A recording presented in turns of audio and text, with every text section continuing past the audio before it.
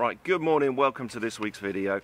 Good start to the day, typically. The trains are on strike, so I've had to get a lift down here today. I did plan to bike from Beccles to Halesworth. So here we are, we're in Halesworth. We're just going to bike down the road, meet up with Simon, and we're spending the day bike rafting.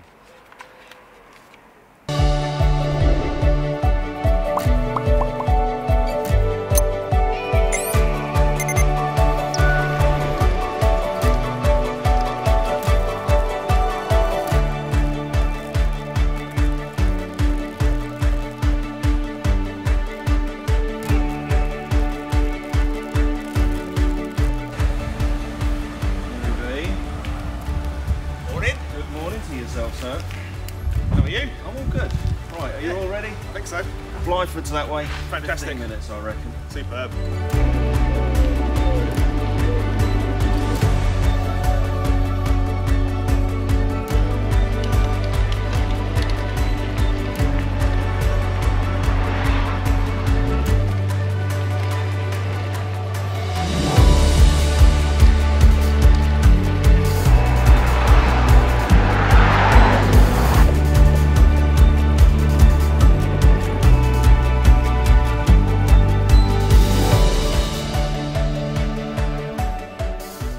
What do they say about cows laying down?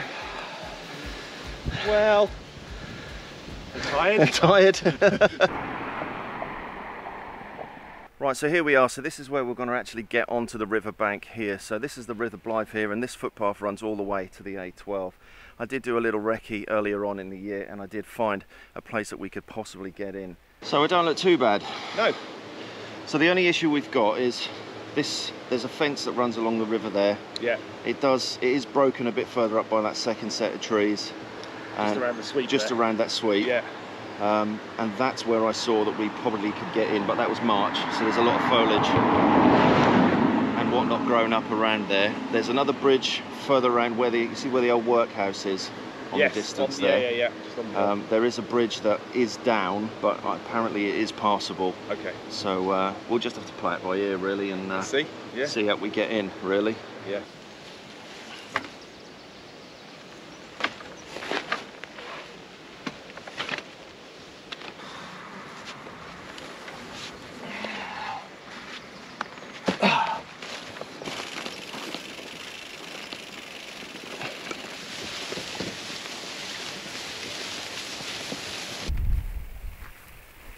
Right, so that's the putting I was thinking.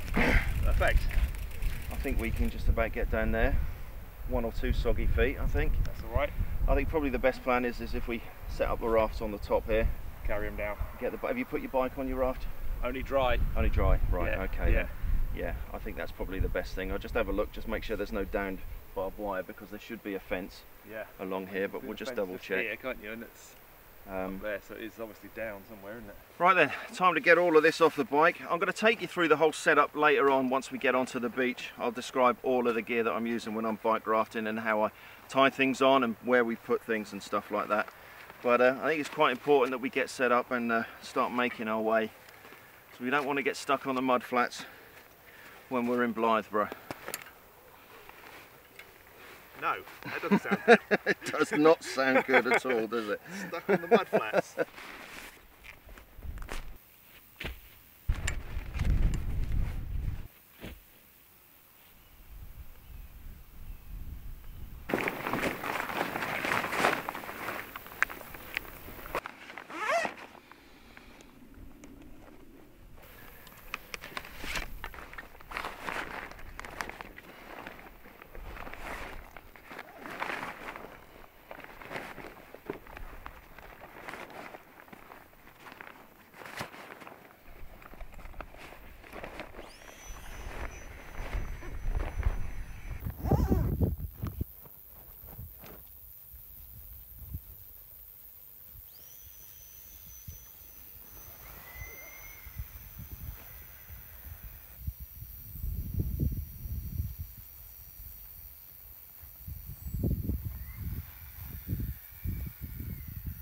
think it was me cheating last time, wasn't it? yeah, I'd get my own back.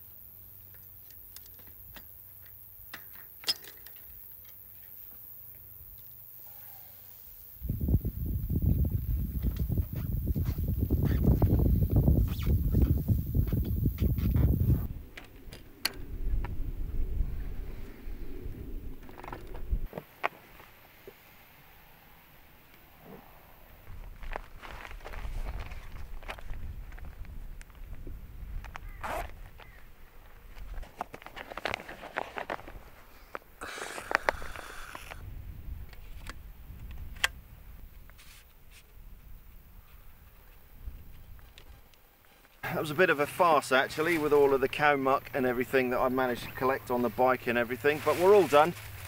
So I'm paddling the Alpacka Caribou. Simon's in exactly the same raft, but more stealth-like in a green one there.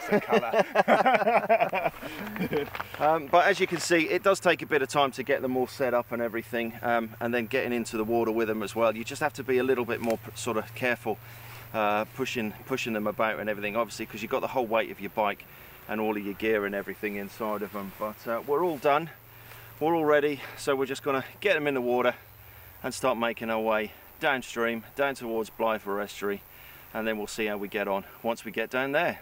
Unfortunately, I don't know where the river starts and where the river bank ends. I'm just to temper this first, I think. That's as close as I'm to get.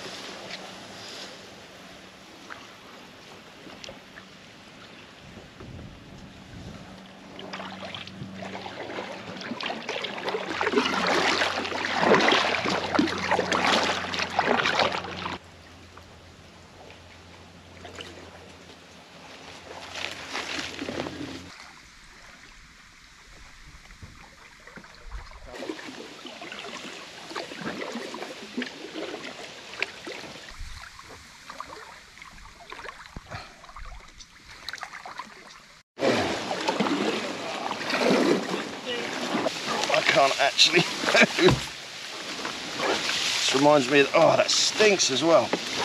Reminds me of the last time me and Simon were at pack rafting on the Waveney in the summer.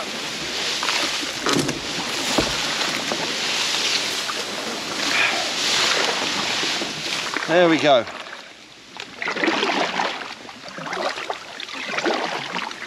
Now we plan to have lunch in Southwold today and you can just imagine the state of us coming in covered in duckweed,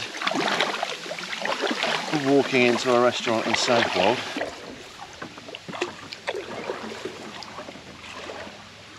It's just the one swan actually.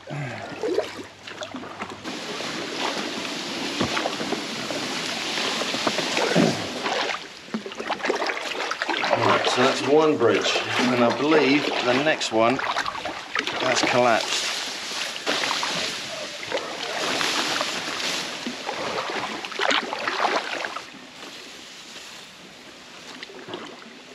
Right, we're coming up to the collapsed bridge that I spotted. That I think we just might be able to squeeze underneath.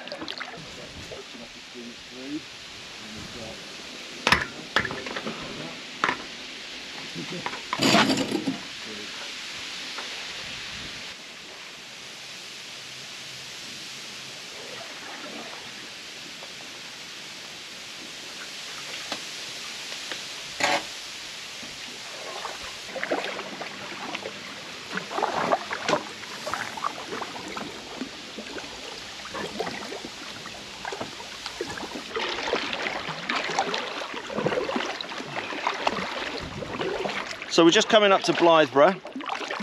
Blythburgh has a huge church, the Holy Trinity Church, which is massive for the size of Blythburgh, which is just a tiny little village.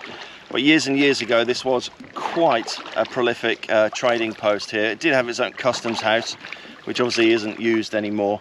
Uh, big old boats would come up the river here for trading. And the other story about Blythburgh is the Black Shuck. Black Shuck is a hellhound, which is uh, sort of a, a fable around these parts. Bungay is especially known for the black shuck. But uh, on the front door of the church there, there's a big black, um, big black stripe down there, which is uh, supposedly from the black shuck trying to uh, claw its way into the church to get the villagers. But uh, you believe what you want to believe about that. So we're now coming into a more tidal area here. It's really, really opening up. We're just about to come under the A12 and go onto the flats in Blythburgh. So this whole area around here that we're paddling now, before 1953, this was all field with the River Blyth running through the middle of it. And then what happened in 1953 in January, there was a massive, massive tidal surge which flooded the whole of the east coast. And uh, the River Blyth burst its banks. And uh, you can just see random bits around here of what was the old riverbank. And uh, the whole area is flooded. Uh, there are still channel markers around here that you have to follow to follow the course of the river because if not you're going to get, especially with the tide running out as it is now, you're going to get stuck uh, on the mud flats. So we're just going to follow the channel markers and the sides of the river and uh, make our way up to Southwold.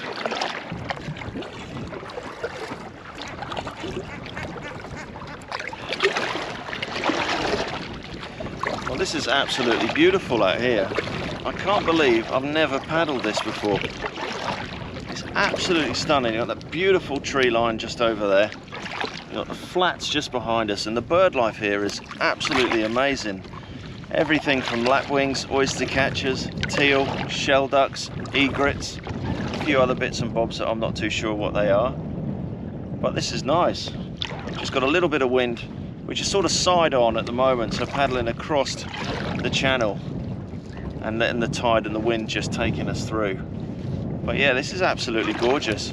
Really, really, really chuffed that we came to do this today.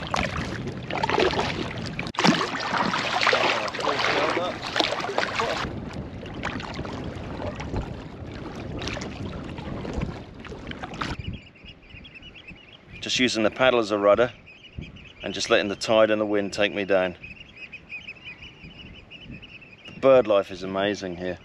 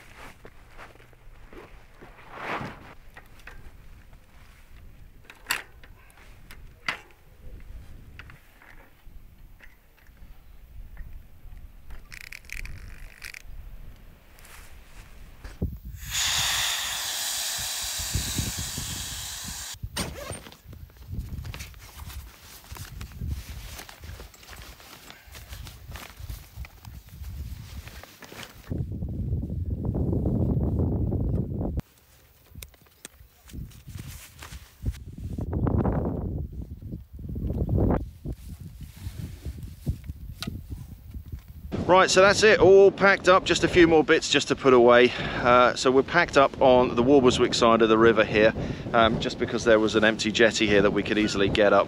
And then we're just gonna uh, bike across the footbridge there, and then we'll end up into Southwold, just along harbour, just behind Simon over there, and uh, go for some lunch. So I've got a little treat for Simon for lunch. Uh, hopefully he likes seafood, so yes. uh, looking, starving yeah, too. absolutely Hank, absolutely starving. So yeah, looking forward to that. So just got a couple more bits to do, and we'll be on our way.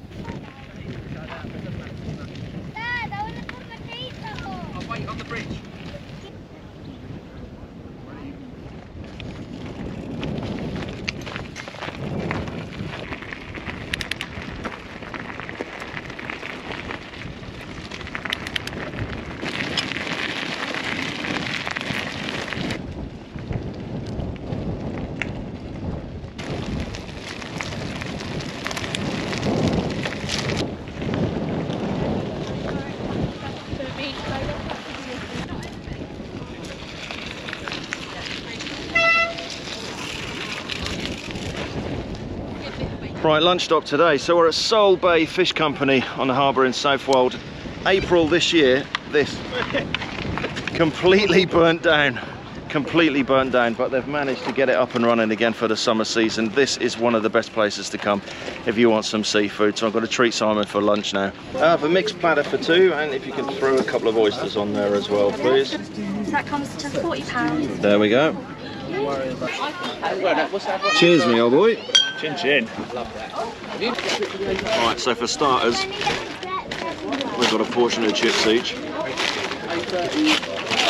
and we're just waiting for that buzzer to ring to bring out Neptune's finest for us. well, I hope you're hungry anyway.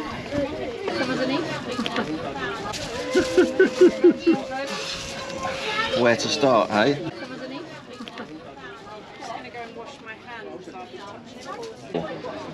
Well, it's been a cracking day. Really enjoyed it so far. And it ain't over yet. So, I've Got to fill our bellies full of this stuff. Get back on the bikes, head through Southwold. Probably have an ice cream on the way through. What do you reckon? I think so. You can't go to Southwold without not having an ice cream, There's can we? Certain things you have to have: seafood, adnams, and ice cream. And then we're going to head up the coast uh, north. Uh, the plan is to head up to Easton Bavents. Um, and we're also going to spend the night up there. But first, I'm going to get through all of this lovely stuff.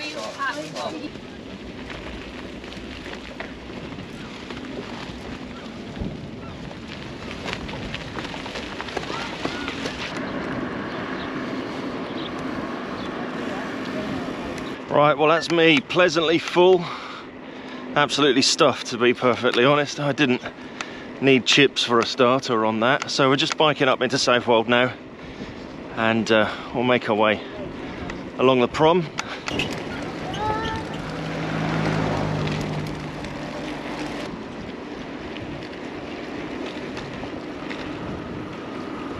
Uh, up here where it says no entry.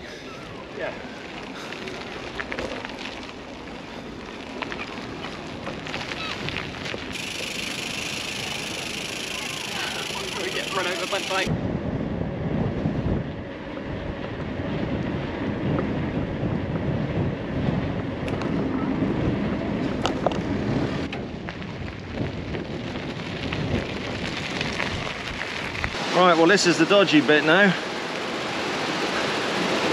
I'm going to negotiate the seawall and the rocks.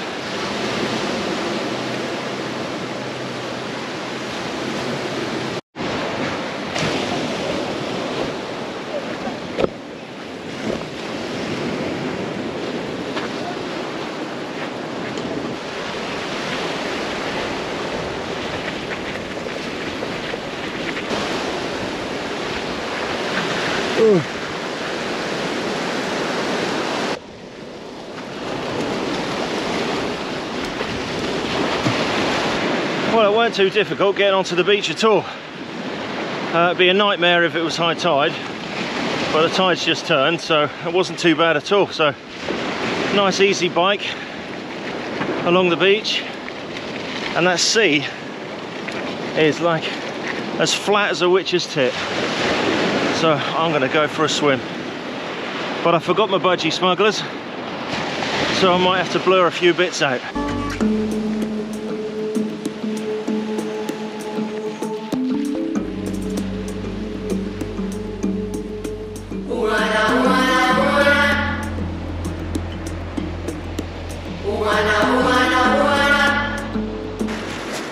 At Easton Broad now. So you can just see over yonder that's all fenced off out there. It's because there's a lot of shingle nesting birds that are nesting behind the shingle there and there's a load of whitefowl on the water there but this is where I was thinking we could spend the night somewhere along here because we've got access to some fresh water um, tide is on its way down and it hasn't made it up this far by the looks of things so I think we should be safe.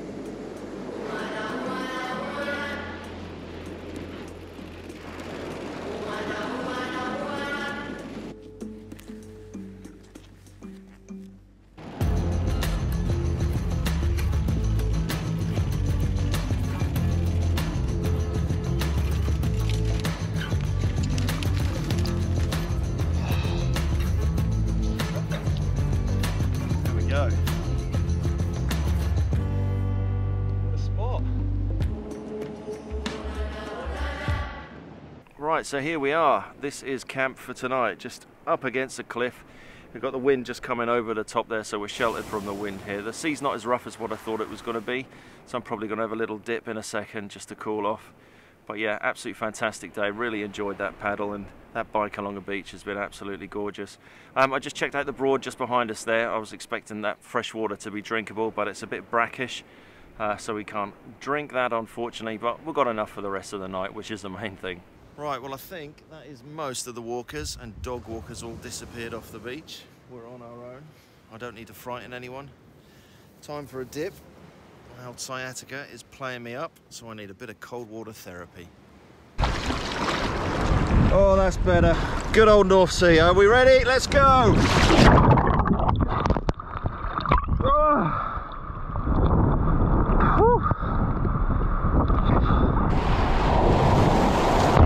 Going to get the tent all set up, but I think what we'll do is I'll take you through today's setup for bike rafting.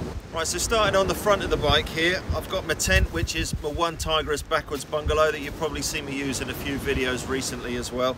And then underneath I've got my Alpacka Caribou stored underneath. Now talking about the pack raft, the Alpacka Caribou is one of the only two specific pack rafts that have been designed for, to carry a bike. The other one is the GP Cargo. So as far as I'm aware, there's no other pack rafts that are specifically designed to carry a bike on the front. A lot of people say that you can stick a bike on most pack rafts, but these pack rafts, especially the Caribou, have a really upturned bow, so they're specifically designed to carry a lot of weight on the bow.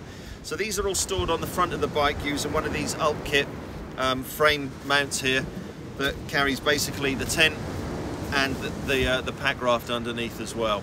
And then on the frame of the bike, I've got my two water bottles, so that can carry a litre there. And then this one's about 750, I think, this CamelBak. But that actually has a LifeStraw built into it as well, so I can filter water if I want to as well. And the good thing about using the CamelBak with the LifeStraw as well is this is a squeezy bottle, so I can actually filter water straight back into my Nalgene as well. And then on the rear of my bike, I've got my seat pack here, and that basically has got me my summer sleeping bag and a spare set of clothes inside of it and uh, my sleeping pad as well. And then in my bag, so this is the Alpkit Ledge. This is a 30 litre bag, so I use this pretty much for all of my day, day pack rafting activities. So inside of this for today, I've literally got my waterproofs, my food, a few bits of clothing inside of there, a towel, uh, my first aid kit. On the side you can see I've got my paddles on the side and then I've got a few bits of ancillary bits of equipment for pack rafting and for camping as well.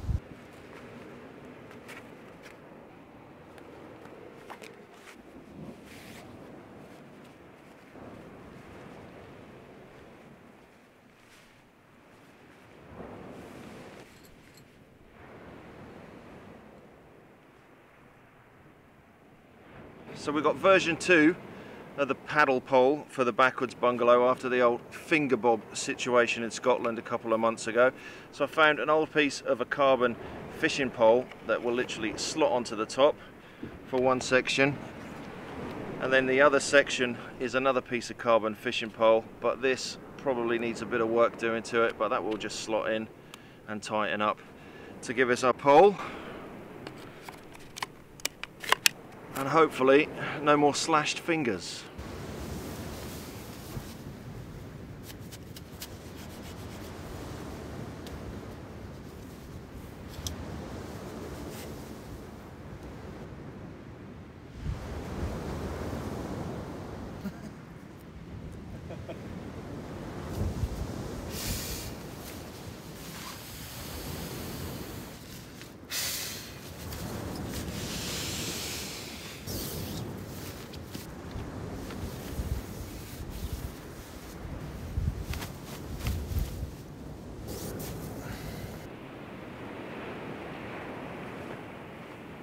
Right, so that's camp all set up for this evening. So I've set up my Backwoods Bungalow basically facing into what little wind we've got there. So it's actually coming through the vent at the bottom there, so I'm not going to condensate up.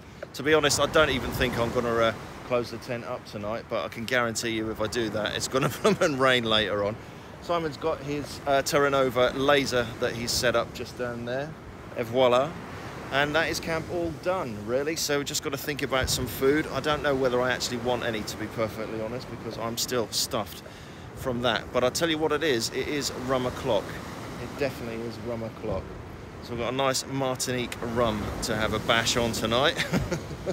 Sounds good. I could go rum. By the sea, it's quite. Arr.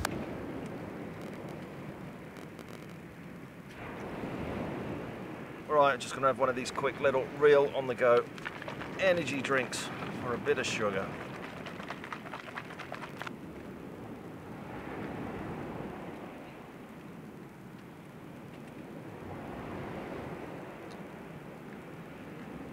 Right, I think I will force myself to have something to eat. I have got a Real Turmat meal today, as always. This one's lapskaus, which is a very typical northern Norwegian dish of beef and potato. It's very popular in the, the Sami population up the top there.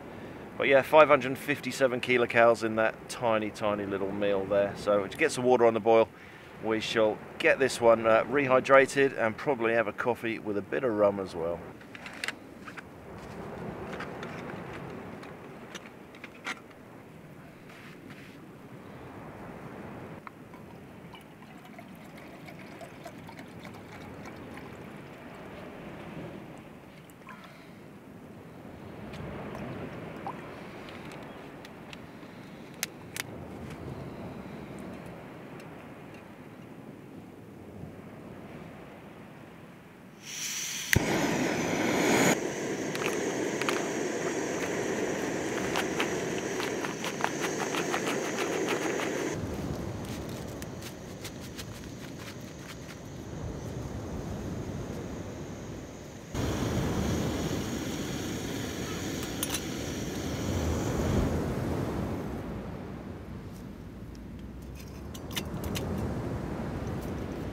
It's hot.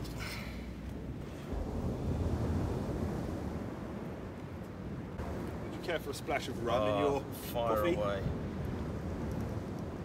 And that is that coffee cracking, I can smell It it. is. I'm going to have some, but without the coffee. Right, so that's me eight minutes all done. Time for some lapskaus.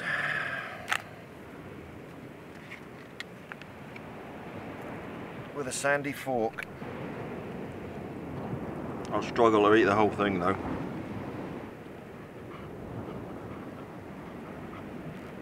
Right, have a try of this one then. So this is a Martinique rum. Is this that super expensive one you were saying This is the super expensive one. What if I don't like it?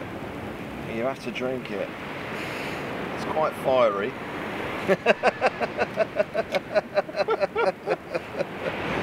Cheers anyway, it's been a cracking day. Well, it has. Fantastic day.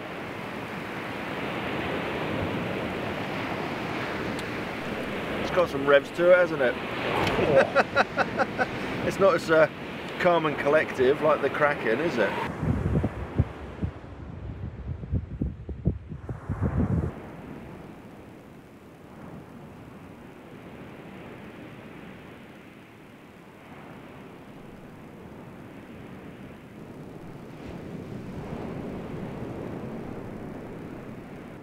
Right, that's the rum all done. I think it's time to hit the hay now. I'm absolutely shattered after today. I've really enjoyed it. You know, the whole thing about bike rafting, the adventure with it, you know, pedals to paddles, it's just been absolutely brilliant. And I've said it before loads and loads of times that pack rafting really does open the doors to adventure, and, and it really does. And you can see from what we've done today, we've combined the whole thing of bikes and paddles and then come up into Southwold and had an absolutely fantastic lunch down there of all that seafood at the Sole Bay uh, Fish Company there. So it's been great, and then that absolutely beautiful bike ride across the beach. It's uh, it's been great. It's been a really really good day to remember, and in uh, really good company as well. It's been brilliant. Really really enjoyed it. So. Time for me to get into my old uh, Backwoods Bungalow and uh, shut the door, get some sleep, listening to that sea, and uh, we shall catch you in the morning.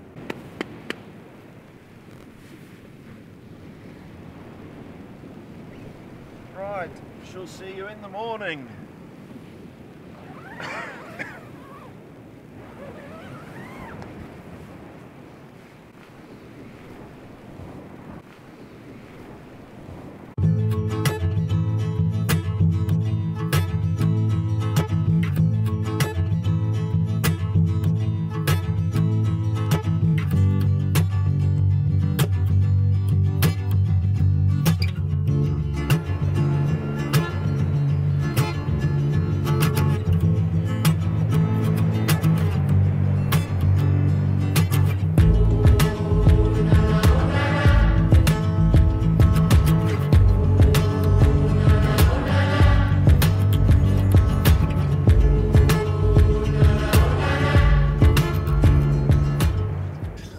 Sleep last night then? Hmm, very well. Morning. What an absolute beautiful night that was. Nice to fall asleep listening to the sea. It was dry and the sun's now coming up over the clouds there and a beautiful, beautiful morning. What a cracking place to be. Not going to bother eating this morning. I'm still stuffed from yesterday. I've got one of these Real Turmat breakfast meals, but that can stay in the bag for another day. That can. I'll have a bacon sarnie when I get further up the beach later on. Right, time to get out the old uh, cook set and uh, get a coffee on the go.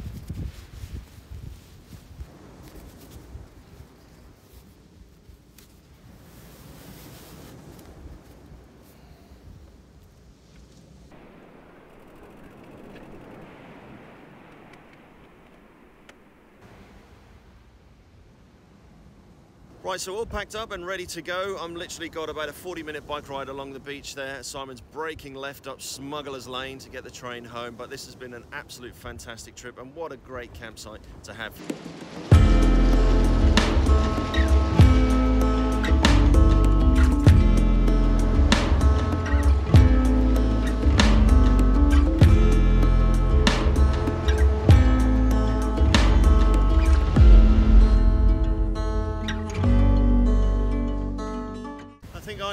Tyres.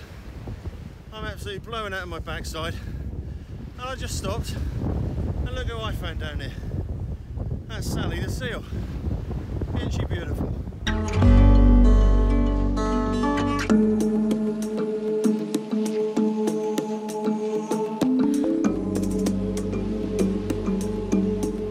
Right, well I've decided to follow Simon up Smuggler's Lane instead of trying to walk along this with this bike.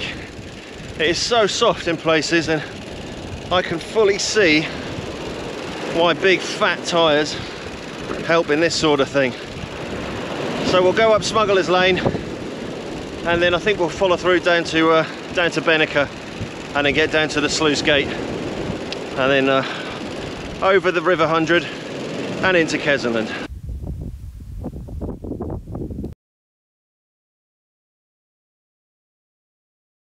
Right, so we've just come out onto the main road in Covehithe. I say main road, it's not really a main road because it's a tiny, tiny little village and most of it's in the sea now. And uh, this is where we split. So Simon's going left and I'm going right. So thank you very much for joining us. It's nice to have a bike rafting partner.